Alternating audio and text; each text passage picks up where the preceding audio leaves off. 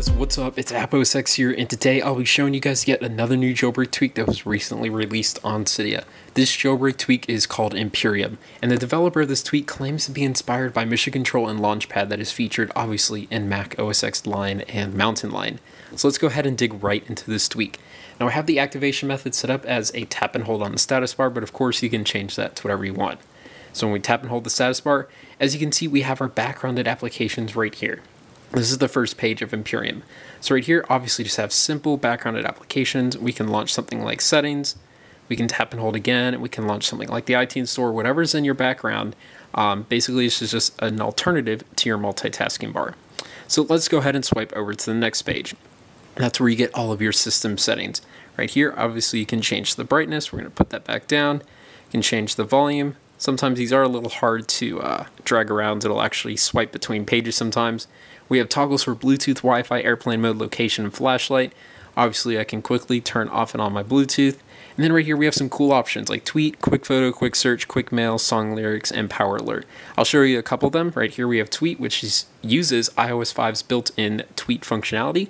Then right here, we have a quick search, and we tap quick search, and then you can type something and obviously hit Google, and it will Google that specific search.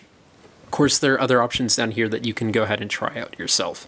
So let's go ahead and swipe to the right and we're going to go to our third page. And this basically brings up a laundry list of all your applications on your iOS device.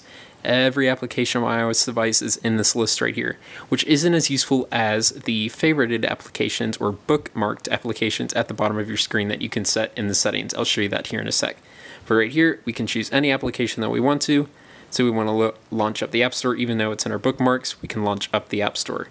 I'll show you that you can now customize which applications are in this quote-unquote dock on the bottom of your third page. So let's go ahead and jump to settings. So let's go to Imperium, and obviously the top of the Imperium preferences, you have the activation methods. Like I said, you can use Activator to set what other, whatever method you like. Um, right here, you have your bookmarked apps. So right here, as you can see, I have the App Store, and if I bring that up, there is the App Store when I slide it right there, and Cydia and Tweetbot and Camera are also right there. Let me go ahead and bring settings back up. And obviously you can see that my other applications like Tweetbot and Camera are activated right there.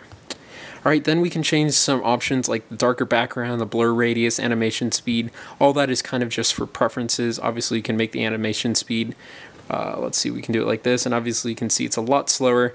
Or you can just do something like this. We can make it super quick. Let's go back here. We can hold it, and there you go, it almost pops up instantly. Now what's also really cool is that you can double tap to dismiss. I really like this feature, because instead of having to hit the home button, you just double tap and you get rid of Imperium. So that basically is all that Imperium has to offer. It is a pretty cool jailbreak tweak. It's only 99 cents on the Cydia store, so I recommend if you that I recommend that you check it out, especially if you haven't tried any other multitasking tweaks that have previously been available on Cydia. So that is it for this video. If you guys like this video, please give it a thumbs up. Subscribe somewhere up there Follow me on Twitter at iAppOSX. Add me on Game Center as AppOSX. That's it, guys. Thanks for watching.